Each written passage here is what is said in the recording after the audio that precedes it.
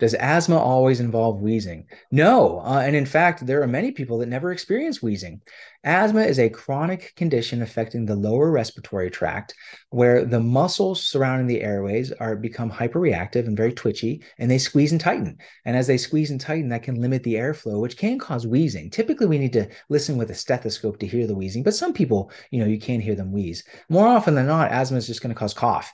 Uh, it's typically prolonged cough after upper respiratory infections where people will cough for two to three weeks uh, instead of those who without asthma may only cough for five to seven days. They may have repetitive cough uh, upon exposure to certain triggers. Uh, they can also have shortness of breath and difficulty breathing. Uh, it can cause a lot of chest tightness as well. So the absence of wheezing does not mean that somebody doesn't have asthma.